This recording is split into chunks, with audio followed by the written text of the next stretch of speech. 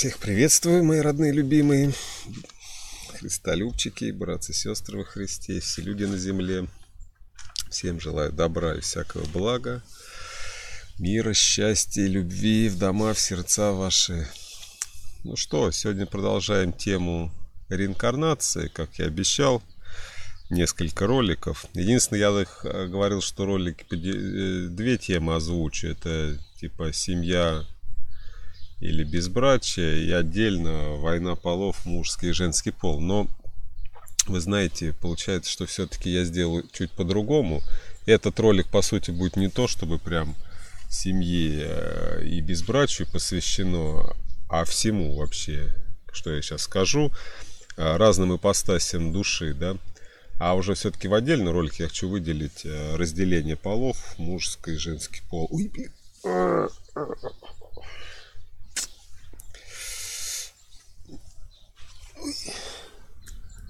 На моих ногах караул раны царапнулся чуть-чуть за деревяшку, аж боль ужасная. Вот. И о чем я хочу поговорить? Давайте прежде чем о семье, сначала просто, в общем, порассуждаем, посмотрим. Да, вот люди. В теле мы живем, как сказано, ну, вы знаете, мы уже читали с вами книгу «Бытие» на, на Христолюбе на канале. Сначала люди жили около тысячи лет, сначала были бессмертными, да, Адам создан, человек создан бессмертным. Потом Господь положил такое, в кавычках, проклятие, на самом деле, благословение в виде ограничения земной жизни этой в теле, в виде смерти, да. И мы видим, что года жизни человеческой потихоньку Господь уменьшал тоже. От тысячи лет, потом там 400 жили, 600, 400 где-то вот так потом все меньше, стоит там под 200, 180, 150, 120. И в принципе мы все знаем эту известную фразу из Библии 70, аще 80, да, всех лет человеческих на земле. По сути, средний, ну, средний назовем, неважно, 100 лет, да, все, это предел человеческой жизни на земле. И вот глядя на окружающих нас людей, на самих себя прежде всего, и здесь немаловажно именно на окружающих нас, нас людей, не с осуждением, а с рассуждением, с рассмотрением для познания истины, что мы видим? Мы видим, что люди очень разные. И казалось бы, человек может быть по вот этому телу э, взрослый, уже престарелый, вот именно уже 100 лет, а ума, простите, как у пятилетнего ребенка, да? Как говорят, седина в бороду, без в ребро, то есть на старость такое вытворяет, что непонятно, он вообще вырос из юношеского возраста или нет. А, что по каким-то внешним вот этим, знаете, принципам, когда действительно уже старость, а там начинают э, уж чуть ли, правда, не в детские игры играться. Но я не беру сейчас не хочу об этом говорить, что есть такое выражение «старость, второе детство», да, когда люди, наоборот, уже идут в другую сторону, да, становятся немощными и по сути и чуть ли не умом, но это я бы назвал все-таки искажением, когда люди не мудреют с годами, да, одно дело тело немощное, и действительно старики как дети, за ними уже надо ухаживать как за детьми, то есть если сначала родители за детьми э, ухаживают, а потом наоборот, да, вот, и а вот другое дело, что умственно там идет умолишение или еще что-нибудь какое-нибудь вот это. Это я вот не знаю. Это, скорее всего, зависит все-таки от жизни человека. Как Господь ему какое посылает безумие к старости или... Ну, Господь посылает, вы знаете, в каком я контексте говорю, да, человек сам это все пожинает, свои плоды своей жизни. Вот. Но это что касается таких, я бы сказал, все-таки безобидных вещей или поверхностных, которые не, не так глубоки в своем искажении, в своей греховности, да, назовем это так, порочности. А, а вот то, что, ну, то, что людей, я говорю, и под, под это, под старость тянет как-то развлекаловка, потому что совсем, знаете, на такие, я говорю, детские удовольствия. Повеселиться, посмотреть, кто в сто лет начинает с парашют там прыгать, адреналинчику, еще что-то. Казалось бы, сиди песочком двор посыпай, да, там мудрости учи юнцов, а куда только их не несет, там, чем только не... йогой заниматься в сто лет, там, все это. Вот. Кто-то скажет, что это неплохо. Я почему говорю, что все это, это очень специфически, и это действительно субъективное мнение, там, хорошо или это плохо. Вот. А душа вот именно, она не стареет, она всегда молодая, я сам это теперь на себе тоже ощущаю, все-таки все взрослее и взрослее перевалило мне за 35, уже между 35 и 40 уже я себя ощущаю вообще, я молчу насколько, а так-то мне по физическому тоже скоро не за горами и 40 будет, да. Вот это все-таки возраст какой-никакой. Жизнь, жизнь-то прошла на самом деле. По крайней мере, ее лучшая часть, наверное, да. Вот. И это ладно, это вещи такие, это удовольствие тела и то, что человек под старость там всячески себя удовлетворяет, доставляет себе радость. Я даже говорю, я бы не сказал, что в принципе это плохо, да. Да каждый живет как хочет, э, хочет под старость, может человек в детстве недополучил.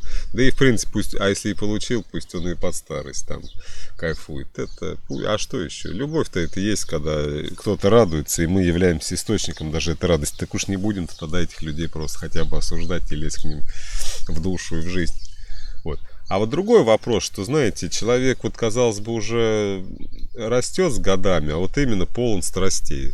Именно действительно э, вредных душе свойств, которые действительно имеют безобразный вид, когда душа, душа открывается из тела. Они имеют вид, и все это проявляется в делах и словах человека. В любом случае, весь этот внутренний мир, если бы он, внутренний мир, если бы он никого не колышил, да бог бы с ним.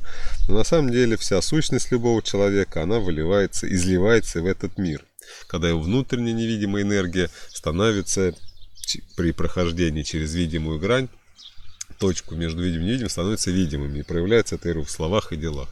И тогда это очень часто, естественно, вредит окружающим людям, вынося им боль, обиды, страдания принося, да. А какие это пороки, да? Та же самая алчность или жадность. Уже 90 лет, а они все вот залезут на эту гору с золотом и все хапают, хапают, хапают, хапают. Человек ничего не успевает даже подумать. Вот он целыми днями в бизнесе, в делах, в обогащении. У него уже столько на счетах, что этого никогда в жизни не потратить. А ему уже 90. Когда там тратить? Уже тратить ты их не в удовольствие, потому что на что ты их можешь потратить, ты уже вот именно не можешь это никак использовать. Ты или немощный, или больной, ты, тебе не все можно и кушать, а все, а все, а все положено, все есть, а есть не могу. Вот. Вы помните, Экклезиас, казалось бы, он там для детей собирает. Надо ли нам что-то собирать для детей? Да, пища, кровь, крыша над головой, одежда. Мы должны детей обеспечить. Но больше заваливать их златом и серебром, вы знаете, это порочный путь.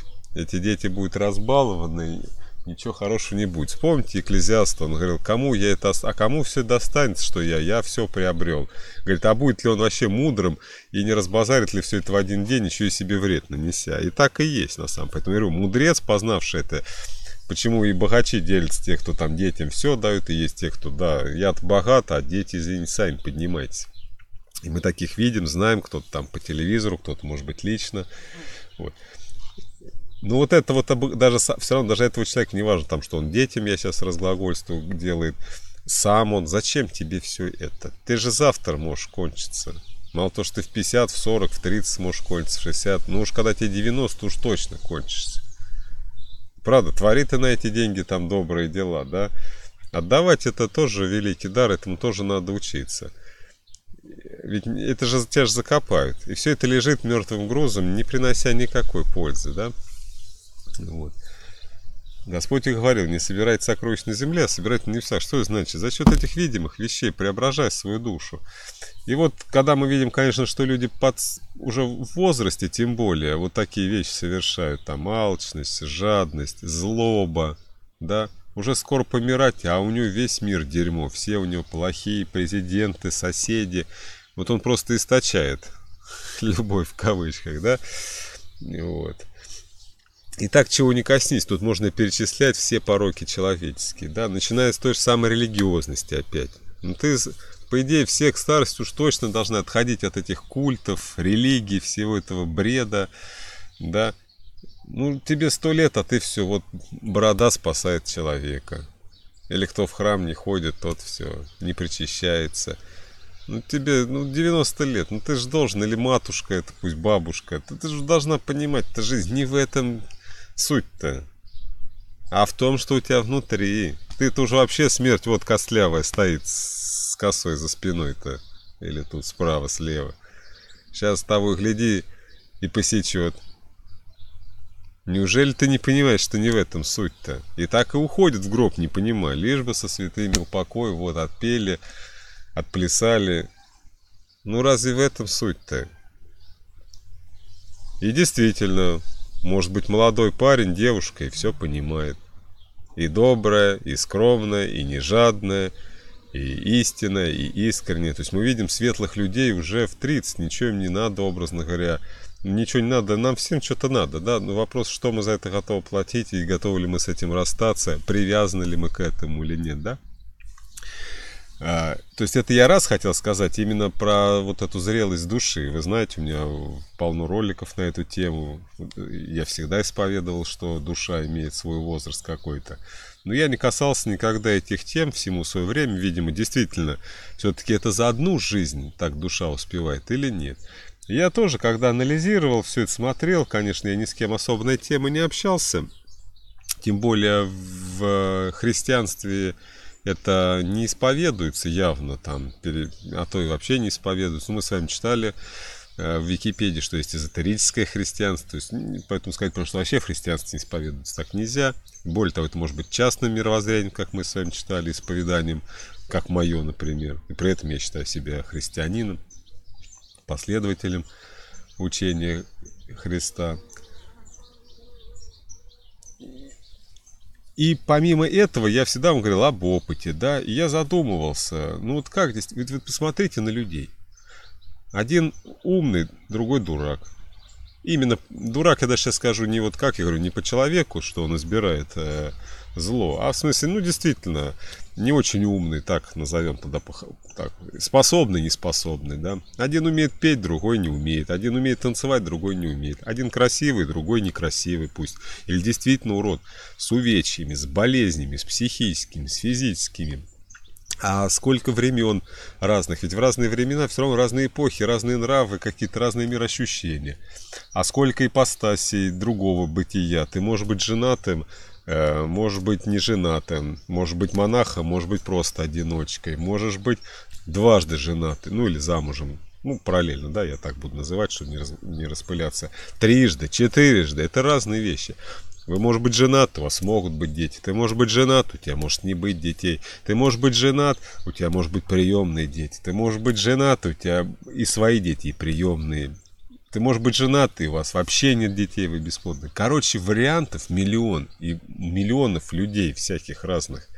И разные они жизни прожили. Кто-то просидел всю жизнь в тюрьме.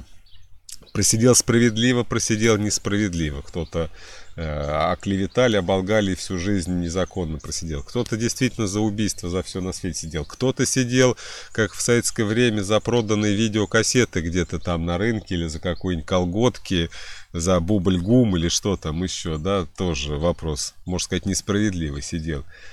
Кто-то всю жизнь проработал прачкой, кто-то золотым ребенком родился и пальцем о пальцем не пошевелил за всю жизнь. Насколько разные жизни и насколько разный опыт в этой жизни приобретал душа. И опять, я сейчас не концентрирую знания, вообще вот э, внимание на вот этих знаниях. Я отделяю знания коробки черепной, винчестера нашего, и знание как умного сердца, да, избирающего между добром и злом, познающего бытие, истину, которая в любви, свободе и бессмертии, да. Но чтобы это познать, вот это, прийти к этому, это какой опыт надо жизни перейти, пройти, страдания, вот это, какого-то братства. Кто-то всю жизнь в одиночке просидел, я говорю, без друзей в квартире там. Кто-то супершайками руководил, да. Да это сейчас это сколько, вот возьмите профессии, я говорю, ипостаси, вот я говорю, даже семейную вам жизнь перечислил, сколько вариантов может быть семьи, да? Кто-то жил гражданским браком до конца жизни, кто-то многоженство, две-три жены, и там опять и свои, не свои, в разные, тем более, вот сейчас берем вариант сегодня рассматриваем, что человек все-таки действительно, э, душа человеческая реинкарнирует в разные физические тела. Я эти ролики буду через эту призму рассматривать. И вот когда так задумываешься, я просто стал задумываться, вот мне тоже, и мне просто тыкали несколько раз, не раз и не два причем, что вот, ты, не, ты вот не женатый, у тебя детей нет, да ты не знаешь, что такое любовь настоящая, как любить детей, как страдать, наоборот, тоже, как потерять ребенка, это больно. Всегда вот слушал это. Ну, я пытался как-то оправдываться. Я, во-первых, говорю, в принципе, может, мне детей есть родители. А родители, я говорю, когда они состариваются, это второе детство. Тоже за ними уже надо будет ухаживать, терпеть их капризы. Ты уже, как родитель, что-то запрещаешь, что-то разрешаешь. Они уже ничего сделать не могут. Все, они только либо соглашаются, либо ты над ними власть имеешь. Ты сильный, ты в достатке, они уже немощные, возможно, без достатка, да. И как я только тоже не пытался, что там не обязательно дети, у меня вот я много помогаю, там все они мои дети, кому я считаю, что я помогаю этим семьям и их детям, да. И плюс жил я, пусть я гражданскими браками жил, это пусть какая-то семья какая-никакая. Я понимал, что там те же самые и любовь, и склоки. И, и причем жил у тех, у кого есть дети. И я видел, что дети это и цветы жизни, и радость. И столько же они горе, и несчастья, и неприятности порой доставляют. Вот. Э, и невыносимые все терпеть их не там выходки. И наоборот, конечно же, столько же радости, умиления и веселья, да, доставляют. Я понимал, что в принципе-то у меня это где-то все внутри есть. От того, что я сейчас это не переживаю, но я все это понимаю. Что значит там пережить смерть своего ребенка? Да я, да понятно, я букашку порой, у меня он то кошки эти помирали тут, и всю жизнь что только не было. Да я там из-за кошки три дня горюю. Уж понятно, дитё, с которым ты жил бок о бок, э, жена, дети, родители, все равно уходят. А что я не понимаю? Да все я понимаю. Причем не на умовом, а на физическом уровне. Вот. Что там непонятного? Боль, конечно, дикая боль, страдания, печаль вот, от всего этого. И, да, когда мне это говорили, я все время задумался, ну что, ну вот, а как мне это узнать? Ну что мне, за все, и хорошо, ну ты мне этим тычешь. Я говорю, почему никогда нельзя идти у всех на поводу и делать все, что все тебе говорят? Ты все равно не сделал, вот в комментариях, всем не угодишь. И эти проповеди, ролики, у каждого в свой период жизни, соответственно, своему возрасту, времени, состоянию, здоров он сейчас или болен, реакция абсолютно разная. Вы все знаете прекрасно, что половина всяких ссор, скандалов в семье, порой это просто несостыковка состояния тоже. Да он бы вчера бы это сроду бы не сказал. Но у него его там довели на работе, он и дом сорвался, да. Понятно, что несправедливо, но, так скажем, была и причина, да. Вот. И я тогда вот всем задумывался, я Господу задавал вопрос, ну а что мне теперь, ну что мне, во всех ипостасях побыть, и то в чем-то от меня зависит, хотя та же самая женитьба, знаете, пойти на первый встречный жениться, вот чтобы тут вкусить, и то получается, хотя говорят, что семья все-таки, я считаю, что все в жизни должно быть все-таки для счастья. А если ты вообще не любишь, он тебе внешне не нравится, внутренне тоже. И просто, как это говорит, что семья это там воспитание, терпение. Быть просто терпилой стать там, я в этом смысла не вижу, да. Вот. Детей, так это вообще не от тебя зависит. У тебя их может не быть. Вот. Того же самого из дома ребенка там взять, это целая проблема, не факт, что тебе дадут. Вот. На все работы, что ли, теперь устроиться? И что теперь, во все тюрьмы пересидеть? Может, там что-то я опыт приобрету к душе моей? То есть, я понимал, что это тоже невозможно, и не от тебя все это зависит. Но много я понимаю, я осознаю, да? Вот. И вы знаете, я говорю, вот э, именно вот эти все размышления э, наталкивали меня на мысль, что у души возраст все-таки намного больше того тела, в котором мы сейчас э, друг друга видим, ощущаем в этом бытие. И я понимаю, что действительно так. И действительно, что у души есть разные люди. Я говорю, вот я сижу, я вот общаюсь, я говорю, вот он, он старик, мне говорят, ты должен к нему уважение испытывать. Я вот общался, кто знает мои беседы с этими, с религиозненькими, со всеми верунами. Вот он с такой бородой вот доказывает мне весь этот культ, эту бороду, что я вот бритый. Я сижу, я вот на него смотрю, да, мне 30. Да, казалось бы, я с ним не должен припираться или что-то ему говорить, но с другой стороны, я на него смотрю, честно, мне у него нечего взять. Ну, нечего взять. И я реально считаю его не ниже себя, а моложе себя по душе. Ну что взрослый мужчина возьмет у пятилетнего ребенка? который думает, что сила его в бороде, как у Самсона в волосах. Праведность его в бороде, вернее, вот, неправильно выразился.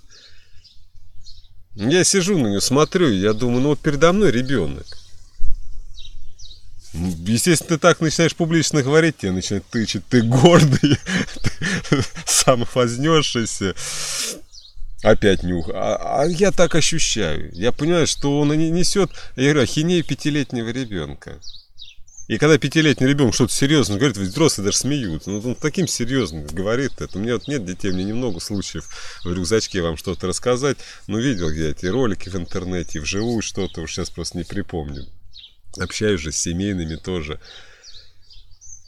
Я понимаю, что я взрослее этого человека. Не важно, что мне 30, не важно, что мне 25 был, 20. Я ощущал себя всегда э, стариком. Вот всю жизнь у меня это. С 16 лет я хотел уже все, умереть. И уже смотрел на жизнь. Что я? Я еще мало что действительно в 16 видел. И сейчас, казалось бы, я не весь мир повидал. Ну, мне он одинаковый для меня. Я его как будто весь исколесил. Ну, кто знает этот мультик про ежика-то с медвежонком. Вот прям я когда увидел, очень долго смеялся. Я как тот старец, который всю землю, это вот так-то еще раз исходил. Это действительно так. У меня это 16 лет где-то, вот с 15-16, как я стал глубоко над жизнью задумываться уже тогда. Как будто я все попробовал, хотя мне 15, я понять не мог, почему я так. Мне все говорили, что ты так рассуждаешь, так говоришь, да. Прошло 20 лет, а я все на том же самом уровне. И, и вот я действительно, вот это меня приводит на мысль, что у души есть разный возраст все-таки. Я говорю, я же не приобретал этих опытов. Вот. Семейных. Но я все это понимаю, да, много. И вот э, я говорю, именно это наводит меня на мысль, что все-таки у души есть возраст. И есть люди, э, старцы уже, хотя они в молодом теле, и наоборот, дети, хотя по виду на этой земле, им там под старость. Они еще тебе за жизнь ничего умного не скажут. Я говорю, у нее 70 лет все одна, ешь, пей, веселись на уме. Вот. Вот я говорю, почему вот ролик даже, в принципе, мне, собственно, сказать-то нечего. Я вот сказал свои мысли. Может быть, это, ну, хотите, сейчас расскажу о своих прошлой жизни. Хотите? не расскажу, это шутка. Я ничего не помню, я не знаю, но по опыту души и как дерево познается по плодам, Господь природу так сотворил, мы понимаем. И то же самое мы знаем, что человек то же самое. Узнается его внутренний мир по делам, по его словам. И вот по этим делам и словам мы просто можем узнать вот эту вот душу, возраст ее. Вот и все. Причем я вам говорил уже, что э, конкретный опыт знания они ничего, какая разница, одевались там так или э, в короткие бриджи, парики носили там. Те знания, что ты что-то умел делать, тогда так, а, ты, может, там был каким-нибудь этим кочегаром, печки чистил. Сейчас мир цифровых технологий, ты программист. Эти знания не нужны будут тебе в следующей жизни. Сейчас через сто лет еще будет такое, что то, что ты здесь знал, это вообще азбука, да? Эти знания, они не нужны. Ты, ты действительно заново приходишь, опять растешь, быстро набираешься этих временных знаний для просто для жизни, которые тебе нужны. А вот внутреннее я, о чем мы с вами в прошлом ролике, ну, я монологизировал, вы слушали, да? Почитаем ваши комментарии. Я, в общем-то, записываю этот ролик, тот только еще вы еще даже не смотрели. Вот. Ну, естественно, этот выйдет за ним, то есть вы уже его посмотрели. Ну, я еще не знаю вашу реакцию на это, на тот ролик. Вот то вот эти вот знания, они действительно переходящие. И благодаря этим знаниям, всяк добрый, вы знаете, в одной жизни добро, добру вряд ли действительно можно научиться прям вот так вот сходу, да. Любвеобильности, нестяжательности, да, неалчности вот этой. Всему этому, наверное, действительно не сразу. Терпению, миру, счастью, благо вот этого, истины, знания даже, да, они же у тебя формируются потихоньку. И к этому потихоньку все вот так и приходит. Вот. Сейчас, секундочку, я кое-что настрою. Вот. Так что вот такие вот мои мысли. И вот чисто по делам, по жизни, по ощущениям. И вы также свой возраст, я говорю, можете и других людей, чисто вот так по делам. По вот этой вот э, мудрости духовной, душевной, как угодно. Внутреннего я, что угодно. Понять, что человек действительно вряд ли за одну жизнь приобрел такой опыт. Вот. Потому что он действительно складывается из опыта. Возможно, я говорю, я не помню своей жизни, я не могу вам рассказать, кем я был. Но, возможно, я был уже и королем, и воином убивал людей, потому что, почему говорю так и проповедую, что все это убийство, даже во имя типа защиты там ближних, родины, все это чушь, все это зло и делает тебя несчастным и не приближает тебя к истине, и ничего твоя душа не вырастает ни в коем случае. Вот. Был я, возможно, и миллионером, и наоборот нищим, и бед, и здоровым, и больным потому что многие вещи я все это понимаю, да. Вот. И более того, да, я себя ощущаю, что, надеюсь, я последний раз, если это не последний раз на Земле, потому что мне здесь делать нечего.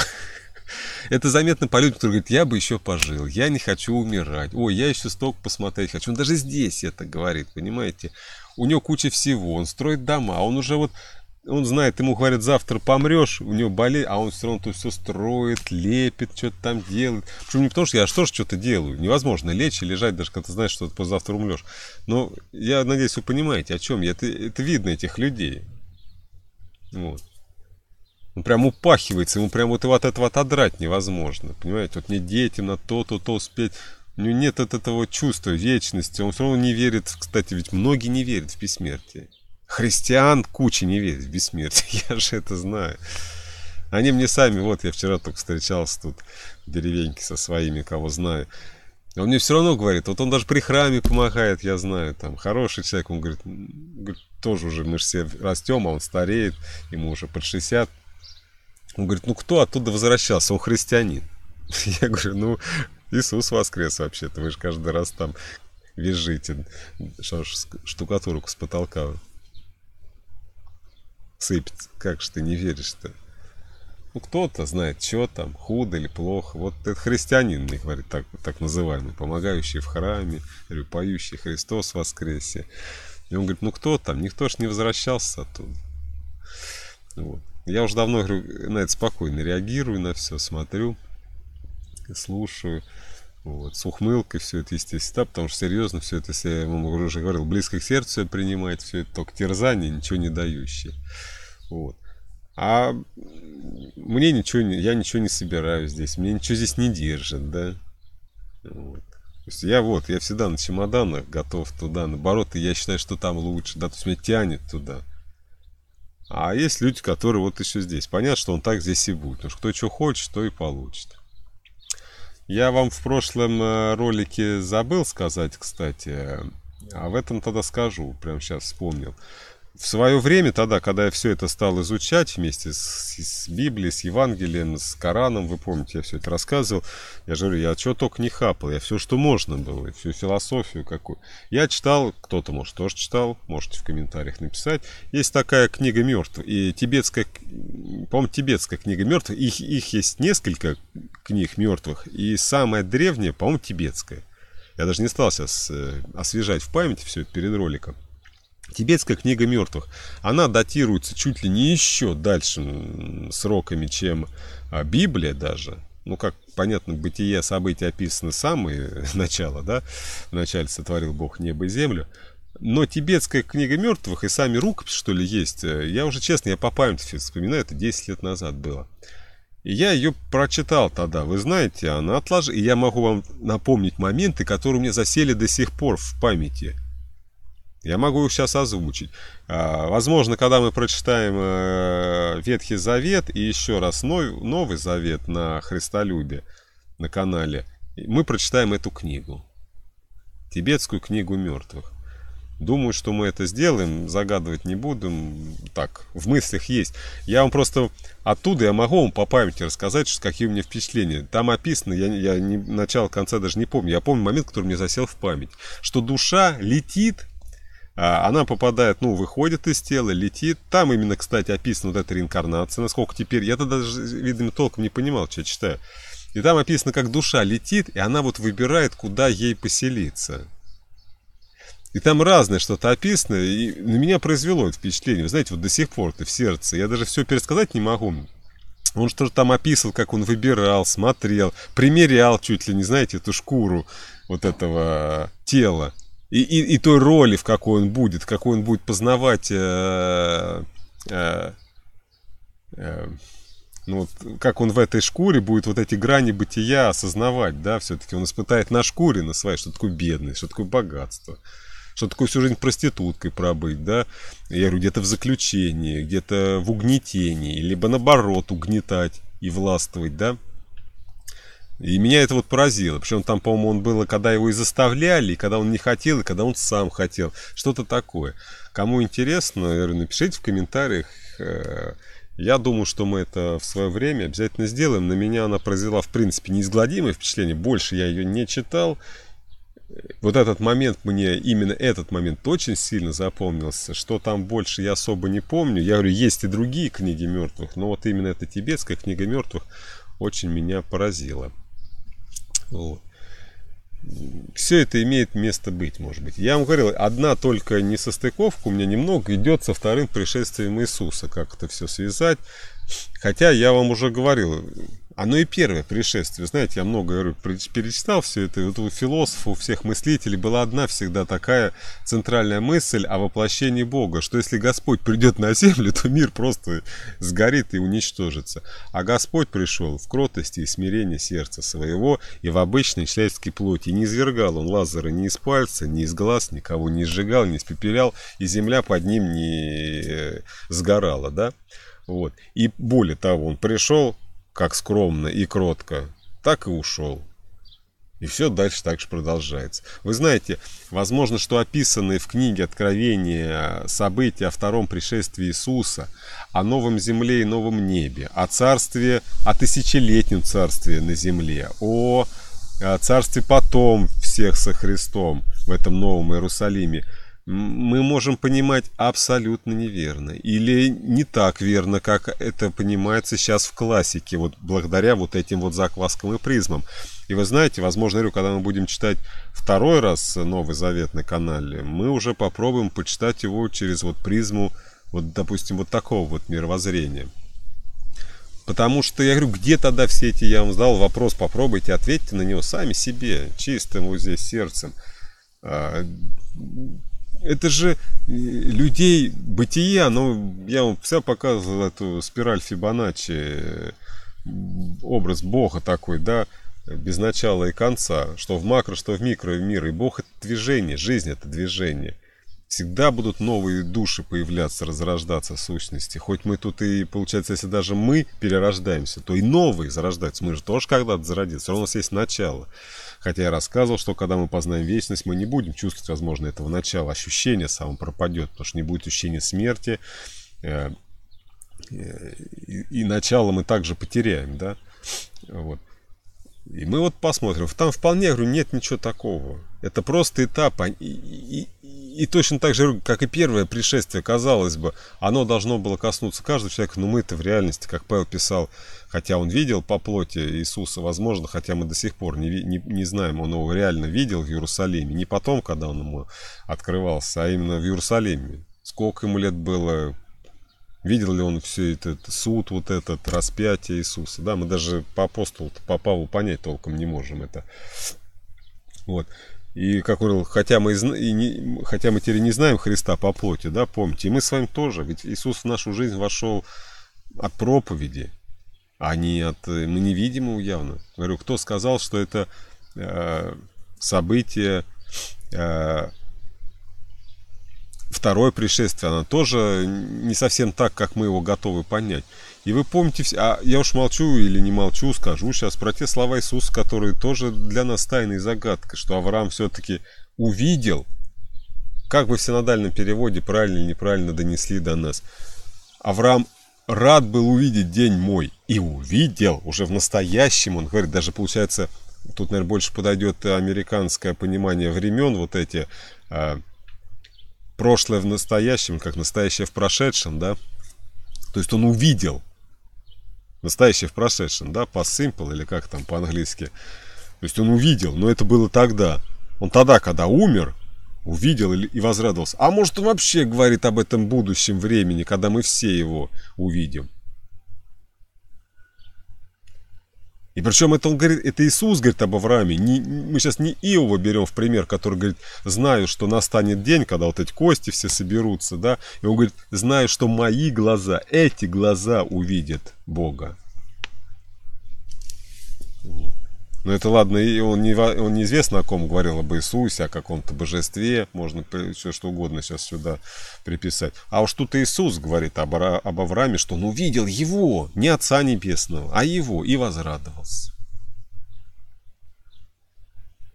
И разве Авраам, какой Авраам э, день мечтал увидеть? Мы его с вами прочитали э, «Бытие» на канале Христолюб. И что? Вы помните этот момент, где Авраам хотел увидеть Иисуса? Нет. Да, обетование, а у него было вот это, вы помните. Хотя вы помните, как тот же самый Иаков, Израиль все переживал, что он в преисподнюю, что сын его в преисподней, и он туда же сойдет. Вот. Таких загадочных слов много. Это к тому, о чем я в следующем ролике буду говорить о ну, я вот так ради веселья назову а, «Война полов», да, на самом деле, конечно, разговор не об этом немножко пойдет, хотя это тоже имеет место, но вечно кичаться, что я мужчина, я главный, или женщина, ничто, или наоборот, там, в общем, феминизм и целая каша из этих полов – и мы также вспомним все-таки слова Иисуса, который говорит, что там не будет ни мужского, ни женского. Опять вспомним сотворение человека. Все в свободной форме я буду говорить. Для этого у меня разделенные каналы, где-то мы читаем побольше. Писание все это опираемся как-то, где я в свободной форме говорю. Вот так вот. Поэтому тут, я говорю, у меня даже ничего не лежит на сердце такого противоречивающего. Я понимаю, что эти, что эти происходящие в будущем события, вообще книга Откровения, это книга символов и тайн, действительно, и как их там не пытаются гадать и раскалывать, я сам записал полный, полное прочтение книги, вы знаете, с полными комментариями и с теми мыслями, какие Господь, как я считаю, Господь, как вы, да? Как? Вот запишите за мной, можно Писание написать. Я же говорю, как мне Господь на сердце ложил. Я же вам слова Божьи выдаю. И назовите это Писание Слово Божье. Причем не через Кузнецова, а просто. Не через Христолюба, а просто. Вот Слово Божье. Вот. Так что вот так вот. И я понимаю, что я говорю, тут нет никакого противоречия. А уж до сколько там, я говорю, меня вот чисто книга Откровений немножко смущает. И что здесь есть как будто, так как здесь есть время, а время это символ конца. Секунда, минута, час, день, символ ограниченности. То есть, казалось бы, как будто есть конец. Хотя это время получается бесконечное. Оно лишь символ движения, каких-то барьерчиков, но оно также бесконечно. Вечные муки, как любит, да? Вот. Ну, такие у меня мысли, размышления с вами поделился. Опять же, на... Как может это ухудшить мой вектор в познании истины, в святости своей души, в совершенстве своей души? Да никак. В какую я реинкарнацию верю? В постоянную, временную, как там это все? Суть жизни одна. Кляк, ты будешь счастлив только тогда, когда ты будешь творить благо. Всем, вся и повсюду. Ты, тебя здесь будет ждать благо, дальше тебе будет все блажение и блажение. Это факт. Поэтому люди, которые усовершенствуются и становятся совершенными, как совершенный Отец их Небесный, в чем? В вере в Иисуса. Отец Небесный не верит в Иисуса. Он совершенен в любви.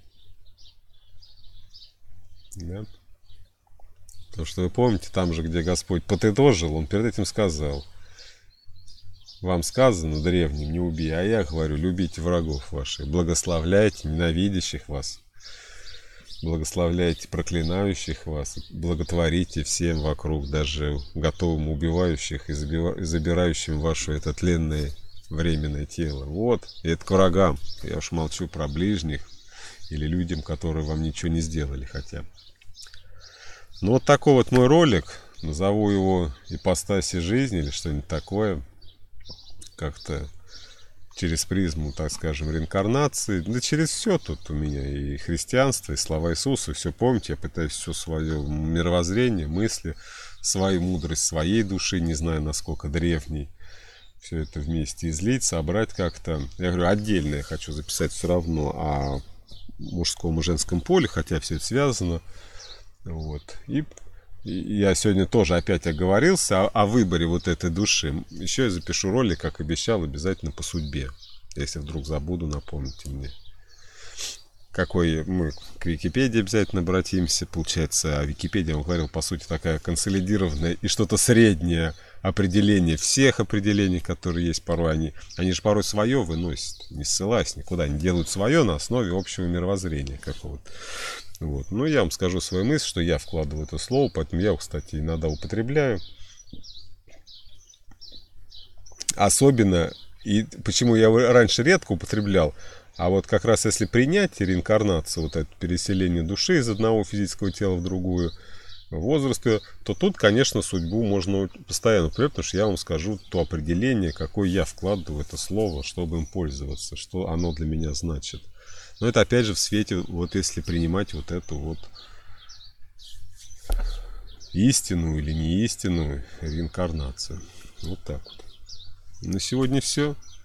В комментариях пишите ваши мысли, советы, критику, размышления. Все, я прошу, призываю делать в духе любви, мира и мудрости всех, кто там ругается, обзывается, жестко что-то наезжает на меня или на кого-то, я буду банить беспощадно, предупреждаю сразу.